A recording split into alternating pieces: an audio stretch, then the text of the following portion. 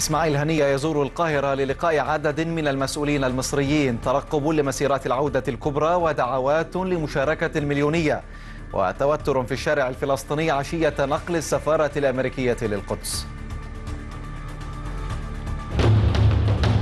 روحاني يقول إن بلاده ستظل ملتزمة بالاتفاق إذا ضمنت حماية مصالحها. ماكرون يعرب لترامب عن قلقه الشديد إزاء عدم استقرار الوضع في الشرق الأوسط. ومسؤول ألماني يشدد على صعوبة حماية الشركات بعد انسحاب واشنطن من الاتفاق النووي.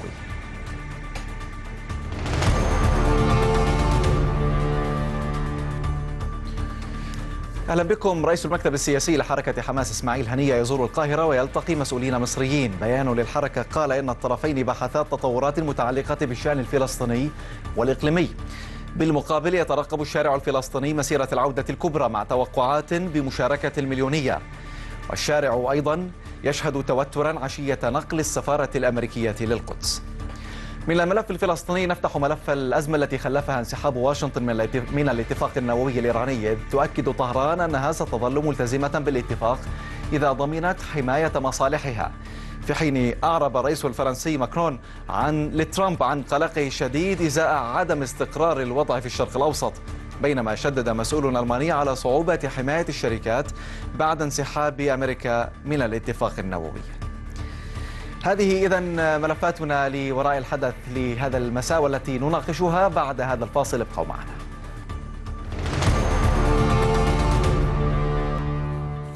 أهلا بكم. من جديد نفتح ملفنا الأول. إذ قالت حركة حماس إن وفدا قياديا غادر قطاع غزة إلى القاهرة في زيارة قصيرة بناء على دعوة مصرية. الناطق باسم الحركة فوزي برهوم قال إن الوفد الذي ترأسه رئيس المكتب السياسي للحركة إسماعيل هنية توجه للقاهرة للتشاور حول آخر التطورات المتعلقة بالشأن الفلسطيني والإقليمي. فما الذي حملته هذه الزيارة؟ وكيف تكون انعكاساتها؟ وفد قيادي من حركة حماس برئاسة رئيس المكتب السياسي للحركة إسماعيل هنية بحث مع مسؤولين في القاهرة آخر التطورات المتعلقة بالشأن الفلسطيني والإقليمي. هذه الزيارة جاءت في وقت تداعت فيه الفصائل الفلسطينية في قطاع غزة لوضع النقاط على الحروف مع استمرار مسيرات العودة الكبرى التي ستشهد مشاركة واسعة أطلق عليها مسبقا بالمشاركة المليونية. المتوقع ما يرى العالم. ستكون هناك حشود هادرة وزحوف مليونية لمواجهة هذا القرار الجائر الأمريكي والظالم الذي يمثل انحيازا للاحتلال على حساب الحقوق الفلسطينية. إن أمريكا هي شريك كامل للاحتلال الصهيوني في هذه الجرائم. مشاركة تعبر عن حق لن يساه الفلسطينيون حتى وأن سلب لسنوات طويلة. فنقل السفارة هذا يأتي قبل يوم من الذكرى السبعين للنكبة الفلسطينية. المطالبة بكسر الحصار وكذلك رفض فكرة الوطن البديل وما تلاها من صفقة القرن. لذا نحن ندعو أبناء شعبنا للاحتشاد في يوم الرابع عشر من مايو في كل أرجاء فلسطين وفي كل المدن والدول المجاورة لها لنرفض معا نقل السفارة ونرفض معا الحصار المفروض على أبناء شعبنا في قطاع غزة منذ 12 سنة. زيادة التحضيرات العسكرية الإسرائيلية على الحدود الشرقية لقطاع غزة تنذر بخطورة المرحلة القادمة مما دعا المستشفيات في القطاع لإنشاء وحدات طبية إضافية. فرؤية المراقبون لسائر الأحداث تنذر بإمكانية وجود مواجهة مفتوحة. أعتقد أن المواجهة المفتوحة هي الأكثر احتمالا لكن لابد من الإشارة إلى عامل يجعل التصعيد الإسرائيلي تحت السيطرة. وهو العامل المتعلق بالطابع الإعلامي والرسالة الإسرائيلية إلى العالم حول نقل السفارة الأمريكية من تل أبيب إلى القدس. يشار إلى أن الهيئة الوطنية العليا لمسيرات العودة الكبرى أعلنت عن جدول الفعاليات المقرر ليوم الرابع عشر من مايو آيار داعية جماهير الشعب الفلسطيني في جميع أماكن تواجده للمشاركة الفعالة بها. وجددت الهيئة تأكيدها أن مسيرات العودة شعبية جماهيرية ذات طابع سلمي داعية المجتمع الدولي إلى الأصغاء لمطالب الشعب الفلسطيني المتمثلة بالتمسك بحق العودة ووقف نقل السفارة الأمريكية للقدس ورفع الحصار عن قطاع غزة ورفض ما يسمى بصفقة القرن. للحديث أكثر حول هذا الموضوع رحب بضيفي من القاهرة رئيس القسم السياسي في الأهرام والمختص في الشؤون الفلسطينية السيد أشرف أبو الهول ومن غزة رئيس مركز بيت الحكمة للدراسات الدكتور أحمد يوسف. مرحبا بكم. ألا وأبدأ معك دكتور أحمد في غزة زيارة سريعة وخاطفة لعدد من قيادات حماس للقاهرة ولقاء بعدد من المسؤولين المصريين ومعلومات قليلة وشحيحة أحاطت بهذه الزيارة وبيان جاء بصيغة أيضا تبعث على التساؤلات بالحديث عن زيارة سريعة لبحث القضايا الفلسطينية والإقليمية بين الجانبين. باعتقادك ومن خلال اطلاعك اليوم على كل هذه التحركات ما الذي حملته هذه الزيارة تحديدا في هذه اللحظة الدقيقة للفلسطينيين؟ فيش صوت. ألو ألو فيش صوت. طيب يبدو أنك ما عم تسمع لي لسه دكتور أحمد سعودي ليك بعد قليل اذهب إلى القاهرة للسيد أشرف أبو الهو سيد أشرف مساء الخير مرحبا بك معنا من جديد. باعتقادك كيف بالإمكان قراءة هذه الزيارة؟ سواء بالشكل الذي جاءت عليه سريعة وخاطفة ومختصرة وأيضا في التوقيت التي تأتي فيه كذلك. يعني بداية يعني من الملفت أن هذه الزيارة ربما كانت أسرع زيارة في تاريخ العلاقات المصرية الفلسطينية لوفد فلسطيني لمصر. خرج السيد إسماعيل هنية صباحا وبدلا من أن يأتي كالمعتاد بالطريق البري بسيارة جاء بطائرة عسكرية وفرتها القوات المسلحة المصرية وعاد بطائرة عسكرية وقضى وقت قصير في القاهرة مع سيادة اللواء عباس كامل القائم بأعمال مدير جهاز المخابرات المصري. وهذا مؤشر على مدى أهمية هذه الزيارة والطابع العاجل لها. لم يدعى السيد هنية إلى مصر منذ يومين أو ثلاثة أو خمسة وإنما جاءت الدعوة يعني مباغتة. ربما كان هذا لأنه يوجد يعني مستجدات.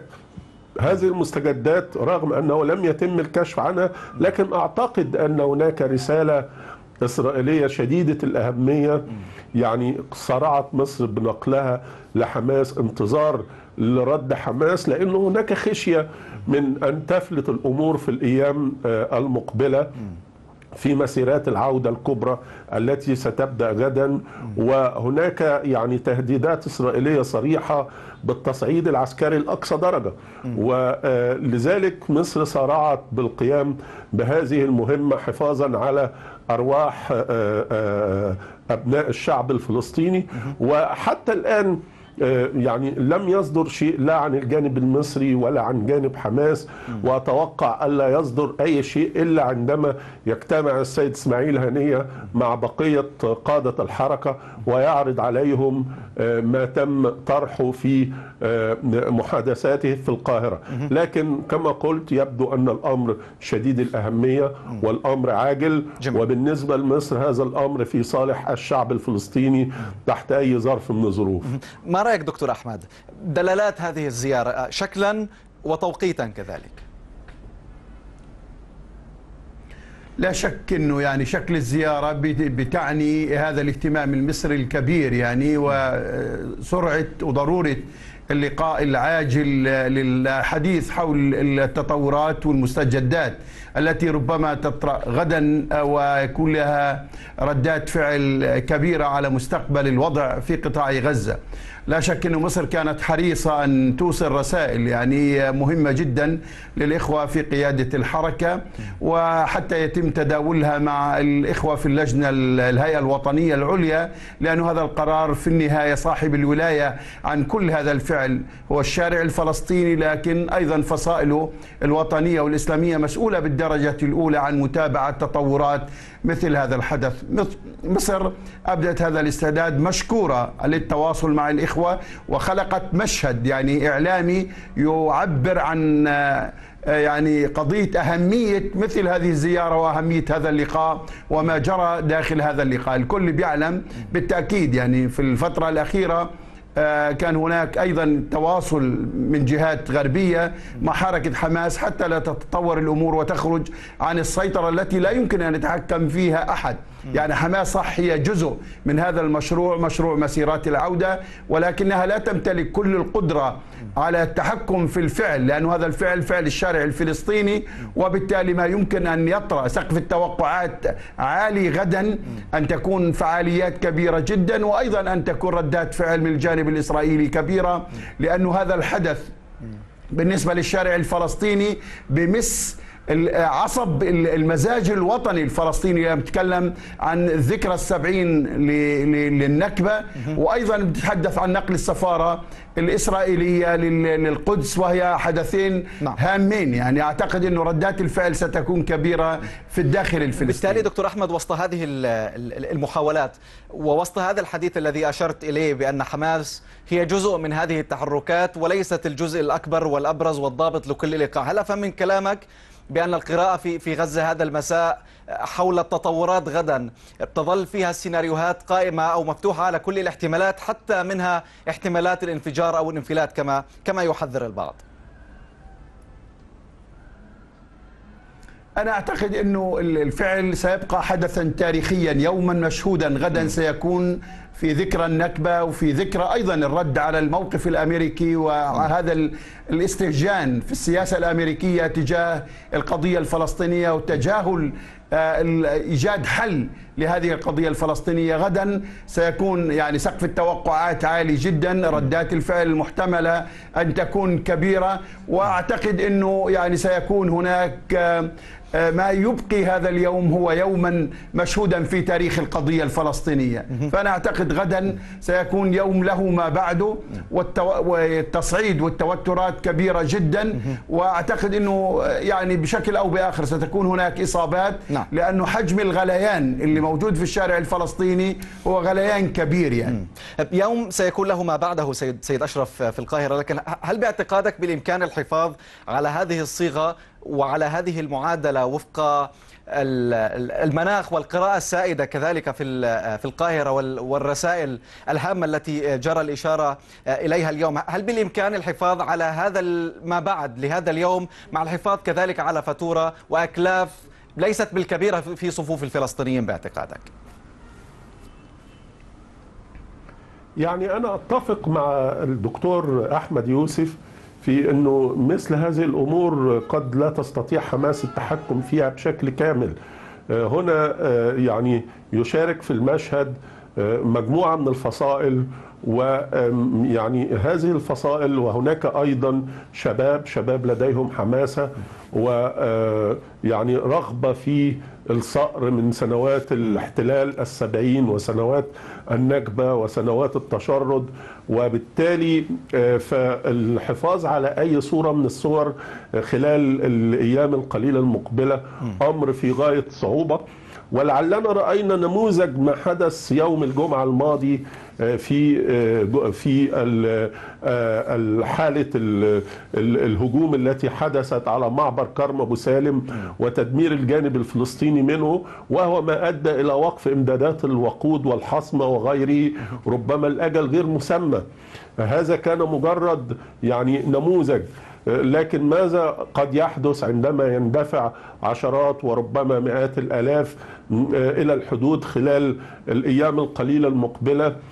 من الذي يضمن الا يكون بينهم يعني عناصر سلفية متشددة؟ تحاول أن تصطدم بالإسرائيليين تحاول أن تهاجم مستوطنات وما إلى ذلك؟ هنا قد تحدث كارثة للجميع لأنه إسرائيل تخشى وتخاف مما يحدث والخائف قد يفرط في العنف والإرهاب وبالتالي قد يحدث سقوط عدد كبير من الشهداء والجرحى. آه، المسألة إذا كانت مجرد يعني عمليات مسيرات آه، محدودة العدد يتم السيطرة عليها. لكن عندما تخرج أعداد كبيرة لا أحد يضمن ماذا سيحدث وبالتالي قد يعني تخلط الأوراق خلطا كاملا. وحسب المعلومات المتداولة إسرائيل لديها سيناريوهات آه، صعبة جدا. منها سيناريو إنه إذا شعرت بالض- بان الضغط كبير عليها على الحدود ستهاجم في العمق. والسيناريو ال- المتاح الأكثر هو القناصة الموجودين على الحدود. وسيناريو استخدام أنواع سيئة جدا من الغازات ضد المتظاهرين السلميين الذين سيحاولون يعني عبور آه، ال- الأسلاك. اذا لا أحد يستطيع نعم. ان يضمن آه، أن ت- تسير الأمور عند وتيرة منضبطة ويعني طيب. آه، شبه مؤكد أن الأمور ستنفلت إذا تركت آه، بشكل غير منظم بشكل كبير آه، جدا آه، ولابد أن تكون لكل طيب. مجموعة صغيرة عدد يعني آه، آه، آه، مسؤول يستطيع أن يتحكم في طيب. حركاتها وإلا فستكون وسط هذه المخاوف. سيئة آه، وهذه السيناريوهات دكتور أحمد اللافت اليوم كان بعض المنشورات ال- التي آه، ألقت بها قوات الاحتلال الإسرائيلي على الفلسطينيين في غزة بالتحذير من آه، هذه السيناريوهات آه، غدا أو بعضها والتحذير من خطورة ال- الإقدام على تحركات كبرى على الحدود الشرقية إلى غزة. لكن كان لافتا في في هذه الأوراق أو هذه المنشورات هي ال- الإشارة إلى دور آه، لدى حماس ودور لطهران. لتصعيد الأوضاع في المنطقة. خطورة هذا الربط أو هذا الاستجلاب الإسرائيلي لدور ما لطهران في هذا الموضوع وكأنه تهيئة للمسرح للجوء لسيناريوهات صعبة وقاسية وحتى استجلاب سيناريوهات إسرائيلية تجري فصولها حتى في سوريا الآن. لا شك أن إسرائيل منذ البداية منذ أن بدأت مسيرات العودة الكبرى وهي تحاول دائما أن تعطي الانطباع بأنه هي حماس من يقف خلف- هذه المسيرات. والحاجة الثانية أنه هذه حماس هي من يغطي مصاريف وكلفة مثل هذه الجهود دائما حاولت أن تضع حماس في المشهد والآن تحاول أن تضع إيران لأنه هذه هي ورقة الدعاية الإسرائيلية لتسويق أنه من يقف خلف هذه المسيرات هو جهات آه، موسومة بالإرهاب لدى المجتمع الدولي أمريكا وأوروبا وما إلى ذلك لتبرر حجم الجريمة جريمة الحرب وجريمة بحق الإنسانية التي تقترفها أسبوعيا ضد شعبنا الفلسطيني ال- الذي يتظاهر سلميا. آه، يعني هذه قضية كان منذ اللحظة الأولى آه، لافت للنظر قضية تركيز إسرائيل وأنه حماس وراء مثل هذه المسيرات وأنه حماس هي التي تدعم وتحرك رغم أن هذه المسيرات منذ اللحظة الأولى كانت عناوينها شبابية وعناوينها بتعكس أنه كل فصائل العمل الوطني والإسلامي تقف خلف هذه التطلعات الشبابية لأنه إيجاد حل يعني طيب. هذه المسيرات في النهاية تنتظر أن تحقق أهداف معينة لم تحققها حتى. حتى اللحظة طيب. لم يعد هناك يعني حديث أن يقال أن سينتهي هذا الحصار أو أن سيكون هناك حل للقضية الفلسطينية طيب. لذلك أنا أتوقع أنه غدا أن سيكون يوم يعني من ناحية المواجهات وحجم التضحيات يوما مشهودا لا لكن هذه ال- الذرائع الإسرائيلية دكتور أحمد شديدة ال- الخطورة وتحمل مؤشرات على تهيئة المسرح إسرائيليا للدخول في عملية قمع وقتل ربما غير آه، غير مسبوقة وحتى في أقل تقدير آه، كبيرة. ما السبيل فلسطينيا لنزع هذه ال- الذرائع باعتقادك؟ في ظل أيضا هذا التصدر السياسي لحماس لكل هذا ال- ال- المشهد وهذه الزيارات ال- القصيرة والمقتضبة وال- والعاجلة وحتى حديث فلسطيني داخلي عن هذا الاستثمار لحماس لكل هذه التحركات في ال- في الداخل للانفتاح على الإقليم. يعني الإخوة في ال- الهيئة الوطنية العليا أعادوا التأكيد على قضية سلمية هذه التظاهرات والابتعاد عن أي فعل يمكن أن تستغله إسرائيل لتوجيه ضربات موجعة وإيقاع عدد كبير من الشهداء وال- والجرحى. الرسالة واضحة للمتظاهرين أن يحافظوا على سلمية هذه التظاهرات فقوتها في سلميتها لأنه أيضا المعركة هي معركة مع الرأي العام الغربي الذي يعطي الدعم كل الدعم لإسرائيل. فنريد أن نوصل رسالة وأنا أعتقد أن هناك في حضور إعلامي أجنبي غير مسبوق لتغطية مشاهد الحدث غدا وبالتالي إيصال الرسالة بأن هذه مظاهرات سلمية وحق لشعبنا أن أن يصل إلى تحقيق طموحاته نحن نعرف أن هذا المنهج بيأخذ وقت. لن لن تقتصر المسألة على شهر ونص. طيب. شفنا تجربة جنوب أفريقيا وتجربة الهند وحتى مارتن لوثر كينج أخذت سنوات طويلة حتى تحقق الإنجاز بتحقيق نعم. طموحات هذه هذه المسيرة. سيد أشرف قراءة لهذه المحاولة الإسرائيلية لإسقاط دور إيراني ما مزعوم على كل هذه التحركات والسبيل فلسطينيا وإقليميا أيضا لنزع هذه هذه الرواية وتفكيكها. يعني بالتأكيد إسرائيل تعلم أن إيران هي الشيطان الأكبر بالنسبة للغرب وبالنسبة للولايات المتحدة تحديدا وبالتالي فعندما تروج أن إيران وراء هذه المسيرات وأيضا هي توجه الاتهام بشكل مباشر للسيد يحيى السنوار يعني رئيس المكتب السياسي للحماس. فهي أيضا تستخدم هذه الورقة لتأليب الغرب وتأليب الولايات المتحدة ضد السنوار وضد إيران. وهذه الورقة يعني تأتي أكلها مع الأمريكيين ومع الغربيين. بشكل كبير والصورة يعني شبه مقبول بها حاليا في الغرب وفي وفي الولايات المتحدة. وأعتقد انها ربما مهدت بذلك لأي رد فعل عنيف ستقوم به ضد المتظاهرين إذا رأت أنهم تجاوزوا الحدود التي يمكن أن تسمح بها. ولذلك فأنا يعني أتفق مع الدكتور أحمد يوسف في القضية الهامة جدا التي قالها هو أن الكفاح يعني طويل الأمد أبناء أو أو الأغلبية السوداء في جنوب أفريقيا استغرقت سنوات وسنوات من أجل أن تحصل على حقوقها. تحدث نظام الأبرتايد تحدث الأقلية البيضاء صارت معظم يعني فعالياتها فعاليات سلمية رغم محاولات يعني الأقلية البيضاء الوقيعة بين أبناء البشرة السوداء من قبائل الزولو وبقية الجنوب أفريقيين نعم.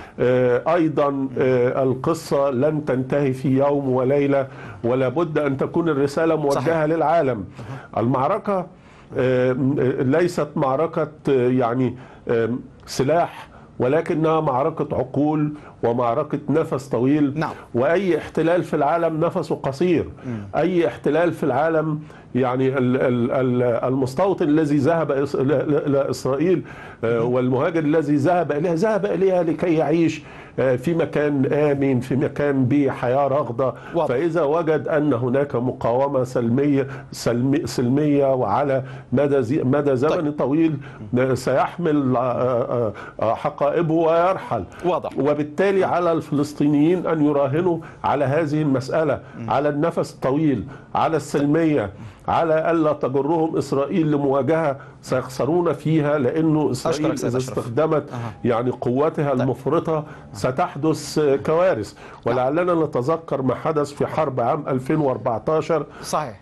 لا لكن معلش اعذرني سيد أشرف. الفلسطيني. في ظل هذه الدعوات للنفس الطويل اعذرني وقت هذا ملف قصير للغاية بل انتهى تماما. بدي أشكرك جزيل الشكر. ضيفنا من القاهرة رئيس القسم السياسي في مركز الأهرام والمتخصص في الشؤون الفلسطينية السيد أشرف أبو الهول. شكرا جزيلا لك. وضيفنا من غزة رئيس مركز بيت الحكمة للدراسات الدكتور أحمد يوسف. شكرا جزيلا لكما. مشاهدينا نذهب إلى فاصل قصير ومن ثم نعود لنفتح ملفنا الثاني ابقوا معنا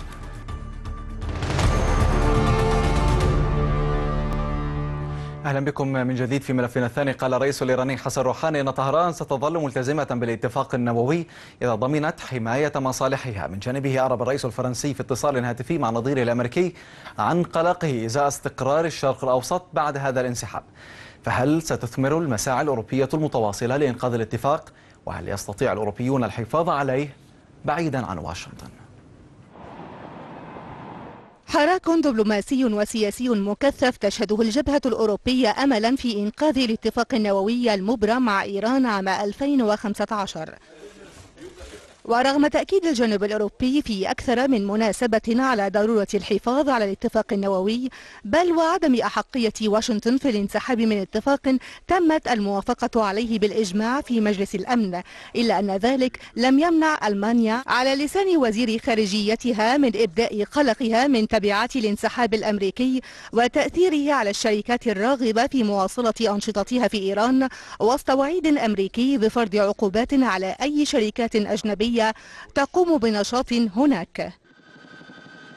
برلين وباريس ولندن والتي أعلنت موقفها صراحة بالالتزام بتطبيق الاتفاق النووي والذي يعتبرونه صمام أمان لضمان الطابع السلمي للبرنامج النووي الإيراني. ووسط هذا جددت ألمانيا من دعوتها بضرورة موافقة طهران على اتفاق أوسع يتجاوز الاتفاق الأصلي ويشمل دور إيران في المنطقة. لا أتوقع حلا سهلا لحماية الشركات من كل أخطار العقوبات الأمريكية. الواضح أنه لا بد وأن تكون هناك حوافز وهذا لن يكون أمرا سهلا بعد القرار الأمريكي. تصريحات تأتي قبل يوم واحد من لقاء مرتقى في بروكسل يجمع وزراء خارجية الدول الثلاث ونظيرهم الإيراني جواد ظريف والذي بدأ جولة دبلوماسية تشمل الدول الموقعة على الاتفاق النووي ما عدا الولايات المتحدة لبحث مستقبل الاتفاق. تبعات القرار الأمريكي أحادي الجانب كانت كذلك محور الاتصال الهاتفي بين الرئيس الفرنسي إيمانويل ماكرون وترامب. وبحسب بيان للإليزي فقد أعرب ماكرون عن قلقه البالغ إزاء استقرار الوضع في الشرق الأوسط في ضوء قرار ترامب الأخير. ووسط حالة الضبابية التي تخيم على مستقبل الاتفاق النووي يرى محللون أن الحلفاء الأوروبيين يبدو أنهم مصممون على المضي قدما باتخاذ تحرك عملي لتقرير أوروبا لمصيرها بعيدا عن الحماية الأمريكية ما لم يجد جديد من جانب ساكن البيت الأبيض. لنقاش الموضوع. رحب بضيفي من لندن أستاذ العلاقات الدولية الدكتور أحمد عجاج ومن واشنطن الكاتب والمحلل السياسي السيد سعيد عرقات مرحبا بكم أبدأ معك سيد سعيد في واشنطن. هل هل باعتقادك هل من أفق أمام هذه المحاولات الأوروبية المستمرة لإنقاذ ما يمكن إنقاذه بعد قرار الرئيس الأمريكي الانسحاب من الاتفاق النووي في ظل هذه المناخات بين الجانبين الأوروبي والأمريكي وهذا التباين الحاد مع القراءة في البيت الأبيض؟ بكل تأكيد أولا هذه دول عظمى وكبيرة ووقعت على هذا الاتفاق وتراه في مصلحتها كما أن شركاتها واستثماراتها الاقتصادية في طهران أو في إيران مهمة جدا فهي في تقديري معنية بشكل كامل بأن تحافظ على هذا الاتفاق وأن ترى كيف يمكنها أن تحافظ على هذا الاتفاق. طبعا دون أن يكون هناك شرخ في العلاقة الأمريكية الأوروبية. علما بأن هذا الرئيس وهذه الإدارة سيفعلون كل ما باستطاعتهم من أجل الضغط على الحليف الأوروبي. كي يخفف من هذه الاستثمارات. وكي يجعل الانسحاب الأمريكي أكثر تاثيرا. لكن بالفعل إذا كانوا كما كما ذكرتم الأوروبيون مصممون على المضي قدما في تقديري أن هذا الاتفاق له نصيب كبير في أن يبقى على قيد الحياة. بهذه المثابرة دكتور أحمد وهذه المواصلة والإصرار على عكس المخاوف والقلق والتحذيرات الأوروبية من خطورة الخطوة الأمريكية هل تكفي؟ هل يعول عليها؟ هل من أثر سياسي ملموس باعتقادك ودبلوماسي لها على مصير هذا الاتفاق؟ أن المشكلة بين أوروبا وبين إدارة الرئيس الأمريكي ترامب تكمن في النظرة إلى الاتفاق. يعني هناك قواسم مشتركة يمكن أن يتوصل إليها الأوروبيون ويحلوا الإشكال بمعنى أنهم سيعيدون النظر في ما بعد عام 2030 أي لا يمكن لإيران بعدها أن تطور سلاحا نوويا وسيعيدون النظر أيضا بالسلاح البالستي وبتوسع إيران. هذه القضايا الثلاث يمكن التوصل مع أمريكا حولها. لكن اكتشف الأوروبيون أن ترامب لا يريد هذه القضايا فقط. هو الآن حسب كل المؤشرات يتجه نحو زعزعة النظام الإيراني وإسقاطه. يعني هو لم يعد ينظر فقط إلى الاتفاق النووي وقضيته هو يذهب أبعد من ذلك. وهناك المتشددون حوله ومنهم جول بولتون وبومبيو وغيرهم يرون أن الوقت مناسب الآن. هناك تململ داخل النظام الإيراني من الوضع الاقتصادي وتململ من القبضة للنظام على الحياة الخاصة. وبالتالي فإنهم يرون إذا ما شددوا الخناق الاقتصادي على النظام الإيراني فإنه سينفجر من الداخل وأن أمريكا بذلك تتخلص من السلاح النووي ومن مشكلة إيران في منطقة الشرق الأوسط. هذا هو الخلاف الحقيقي بين أوروبا وبين ترامب. أوروبا لا توافق على هذه النظرة وبالتالي تحاول تغييرها ضمن النقاط الثلاث التي ذكرناها. ما رأيك سيد سعيد وفق القراءة في في واشنطن هل المسعى الأمريكي لترامب وفريقه للتوصل لصيغ جديدة معدلة محسنة تتطرق إلى هذه المخاوف الثلاث أم الرؤية لدى لدى فريق ترامب ربما أبعد من هذا التصور؟ بكل تأكيد ترامب ومستشاريه على الأقل مثل بولتون جان بولتون كذلك اللوبي الإسرائيلي القوي في هذا البلد وله بأوجهه العدة. يدفعون الإدارة من أجل الالتزام بتغيير النظام. تماما كما فعلت إدارة الرئيس بوش بالنسبة للنظام العراقي عام 2003 علما بأن هناك فوارق كبيرة بين طبيعة النظام الرئيس السابق صدام حسين وبين الوضع الحالي في في إيران، لكن هذا هو الاتجاه، أنا أتفق مع ضيفك، هناك دفعة قوية من قبل اليمين، من قبل المجمع الصناعي العسكري، من قبل أنصار إسرائيل للدفع لاتخاذ مناسبة أو لانتهاز الفرصة كما يقولون من أجل الدفع بهذا النظام والتخلص منه. طبعا هم في تقدير تقديراتهم خاطئة لأنه الوضع في إيران ليس متململا كما كان عليه عام 2009 عندما كان هناك ثورة عمليا. فبالتالي الوضع أكثر استتبابا الآن في إيران. لا أعتقد أن الحكومة الحالية هي في وضع مرتبك بإمكانها أن تفقد سيطرتها بالسهولة التي تعتقدها الولايات المتحدة. ولكن بكل تأكيد هذا الرئيس لا يريد أن يفاوضوا من جديد. هو أي شيء أقل من عمليا الاستسلام الإيراني بمعنى أنه ليس فقط التخلي عن السلاح النووي ولكن أيضا إدخال الصواريخ البالستية في ذلك نعم. قضية ال ال الانسحاب كما يقولون من من مناطق تواجد إيرانية في اليمن في سوريا في لبنان وفي أماكن أخرى والآن يتحدثون عن وجود إيراني في منطقة الصحراء الغربية البوليساريو. ففي تقديري هناك ضغط مكثف ليس من أجل الاتفاق النووي الذي وصفه الرئيس بالأسوأ بالتاريخ ولكن من أجل تغيير النظام في طهران. نعم، لكن في تداعيات تغيير الوضع القائم دكتور أحمد والإعلان الأمريكي عن الانسحاب من هذا الاتفاق وتغليظ العقوبات الأمريكية على طهران، نسمع اليوم تصريحات أيضا على لسان مستشار الأمن القومي السيد جون بولتون يقول بأن فرض عقوبات على الشركات الأوروبية التي تتعامل مع طهران هو أمر محتمل. هل يصل الأمر حد المواجهة الأمريكية الأوروبية الاقتصادية فعلا في تداعيات هذا الانسحاب الأمريكي؟ يعني دعني أقول لك أن أوروبا لن تقف في وجه الولايات المتحدة الأمريكية، هذه نظرة استراتيجية واضحة تماما، لكنها ستحاول قدر الإمكان تغيير المسار الذي يتخذه ترامب عبر التلويح بأنها سترد إذا في حال ما فرضت عقوبات فرعية على شركاتها وأن مصالحها متضررة، وهذا التصعيد الذي نراه في التصريحات الأمريكية هدفه يعني ثني ثني الإدارة الأمريكية إلى الاستماع إلى ما تقدمه أوروبا، وما تقدمه أوروبا هو بالفعل ما يريد ما تريده أمريكا لكن عبر طريق مختلف، يعني كلاهما يريدان أن يحققان شيئا، المشكلة أن كل منهما يرى طريقا مختلفا لتحقيقه، وبالتالي هنا تكمن فرصة إيران، إيران يعني رأت هناك يعني مجالا لكي توسع هذه القوة بينهما، وبالتالي نرى نحن تصريحات خامئني يقول أنه لا يمكن الوثوق بالأوروبيين لأنهم بالنهاية سيذهبون ويصطفون مع أمريكا،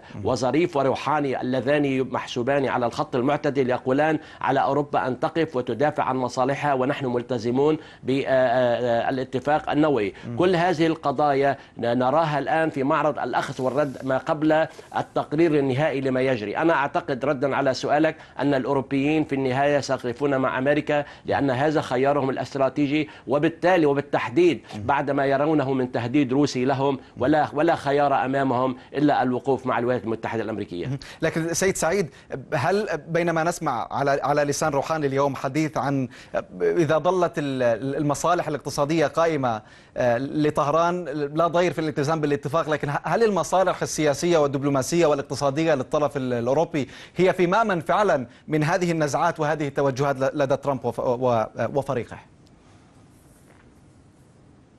شوف أنا أعتقد أن الأوروبيين في نهاية المطاف سيختارون أن أن يقفوا وراء الولايات المتحدة. إذا اضطروا لذلك إذا إذا ما حشروا بالزاوية وطلب منهم أن إما معنا وإما ضدنا فبكل تأكيد الأوروبيين سيكونوا آه، يقفون وراء الولايات المتحدة. ولكن أنا لا أعتقد أن الولايات المتحدة ستضع الأوروبيين في- في هذا الوضع الحرج بالكامل. بمعنى إما أن تكونوا معنا وإما أن تكونوا ضدنا وعدوا لنا.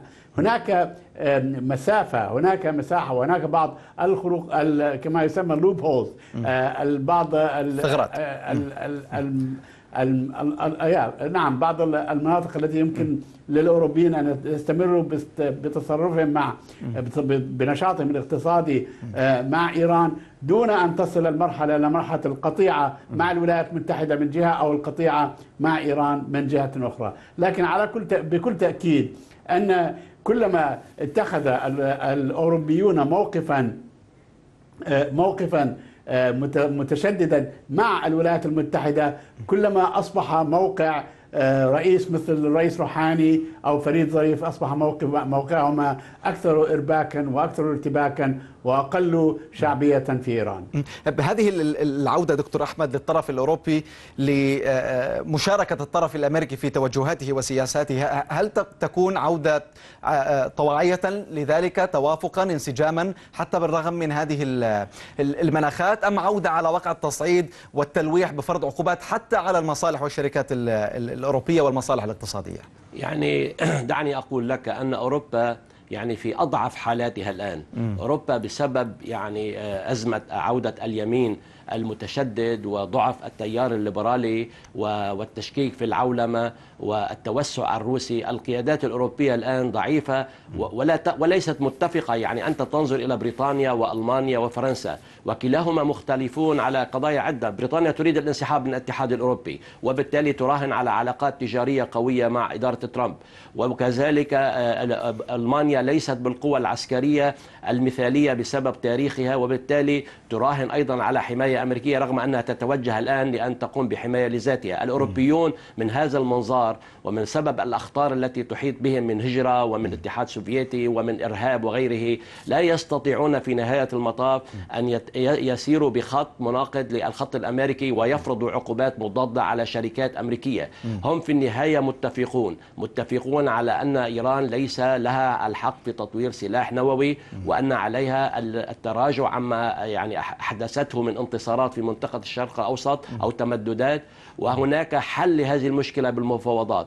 الإدارة ترامب ترى أن ذلك ليس صحيحا وأنا أعتقد أن الإيرانيين يعني يحسون بأنهم في النهاية سيواجهون موقفا مشتركا. لذلك نحن نسمع تصريحات المقرب من ظريف وهو مستشار نسيت اسمه يقول أنه في حال أن الأوروبيون يعني بدأوا يذهبون إلى اتفاق مع أمريكا فسنحن سنظهر أسماء الأوروبيون الذين تلقوا أموال منا للضغط من أجل آه، هذا الاتفاق النووي. وبالتالي المسألة يعني كما تراها هي في كما قلت أولا نعم. لم تصل إلى نهايتها بين أخذ ورد لكن التصور النهائي معروف وهو أنه إيران يعني هناك إجماع على أن ليس نعم. لها الحق بتطوير هذا السلاح النووي لكن الموقف الأوروبي دكتور أحمد الذي أشرت إليه من من تحديات كبيرة تحيط به إلى أي مدى بإمكانه فعلا تحمل هذه النزعات لدى الرئيس الأمريكي وهذه ال- المحاولات لتجريف كثير من الوقائع على الأرض سواء الانسحاب من الاتفاق النووي المساس باتفاقية المناخ حالة التجريف الكبيرة لل-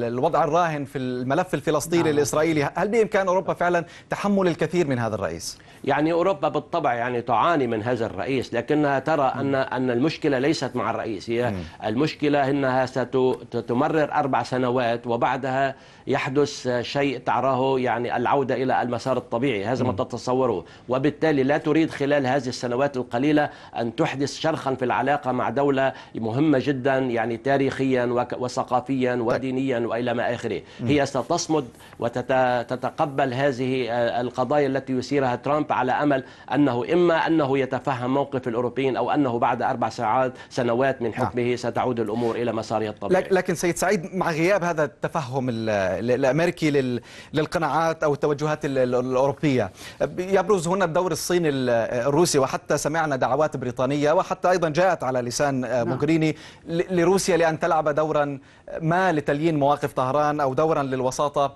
بين ال- ال- الغرب وطهران في في ظل في ظل هذه المناخات هل أحد إفرازات هذه السياسات الأمريكية تكون دفع الطرف الأوروبي أكثر للوقوف على أرضيات مشتركة مع الطرفين الروسي والصيني؟ قد تكون يعني قد تقاد الأمور بهذا الاتجاه. بكل تأكيد الولايات المتحدة تريد أن تضغط على الأوروبيين كي يضغطوا بدورهم على روسيا كضغط بدورها على إيران. لأنه الآن واضح تماما أن الايران أن الصين وروسيا هما الدولتان القادرتان على على التأثير على طهران وقرارات طهران خاصة في منطقة الشرق الأوسط. حقيقة أن إيران أو الاتفاق النووي هو اتفاق بالغ الجودة بكافه وفق كل الخبراء في هذه العاصمة أيضا. وهناك أنا أؤكد لك أن هناك شعور بالمرارة في أروقة مراكز الأبحاث والفكر هنا في العاصمة الأمريكية بسبب انسحاب الرئيس لأنهم يعتقدون أن الاتفاق الذي تمكن كيري من تحقيقه وزير الخارجية السابق هو اتفاق اتفاق جيد لا يسمح لايران بامتلاك القنبلة النووية أو القيام بهذه النشاطات قبل 2030 على الأقل ومن ثم هناك مجال للتجديد.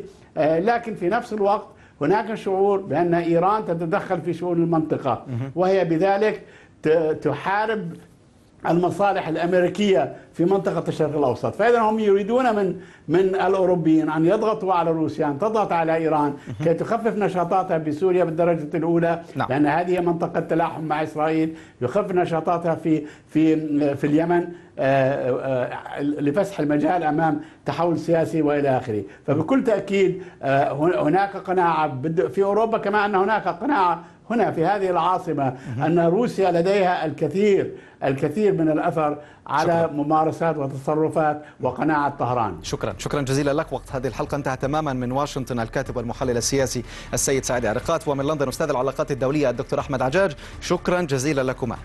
مشاهدينا شكرا على طيب المتابعة. إلى اللقاء.